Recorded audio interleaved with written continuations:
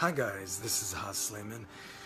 A new study finds that more LGBTQ people living in the United States have been murdered so far this year than in 2016. So this video is my response to this study. I am a gay, Muslim, Arab, American man. I am a gay, Muslim, Arab, American man. And I'm going to take it even further. Not only am I gay, but I'm also a bottom. Not only am I a bottom, but I'm also a total bottom, which means I like it up you know where. And I say this to all the homophobes living in the United States of America and across the globe. Why not? If you ever come to me to kill me just because I'm gay,